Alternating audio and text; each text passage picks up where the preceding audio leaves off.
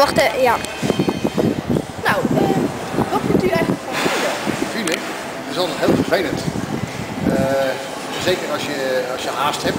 Of als je ergens eh, naartoe moet, eh, naar- je werk bijvoorbeeld. Dan, eh, dan zit je soms eh, altijd te verbijten. Dat je, eh, ja, je weet van tevoren eigenlijk al dat je in de file staat. Dat het meestal even terug is. Ja. En eh, wat denkt u dat wij eh, eraan kunnen doen?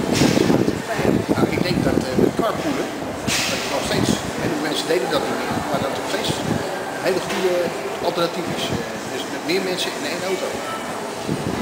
Nou, dank u wel. Ja? Nou, veel succes. Doei. Files. Nou, heel hinderlijk natuurlijk, als je erin staat. Vooral als je heel lang in staat. Ja, dat is aardig vervelend. En eh, wat denkt u dat de mensen beter aan gaan doen files te voorkomen? Nou, dat- ja, gebruik maken van moderne middelen. Dus thuis eh, werken, dus via netwerkjes, eh, computer hè.